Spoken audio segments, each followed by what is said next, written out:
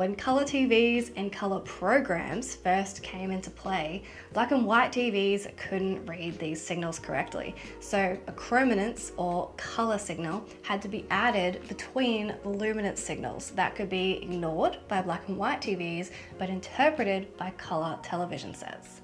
This extra colour signal increased the time it took to deliver each frame by hundredths of a second but this brought the standard 30 frames per second down to 29.97. But for simplicity, it's still usually referred to as 30 FPS.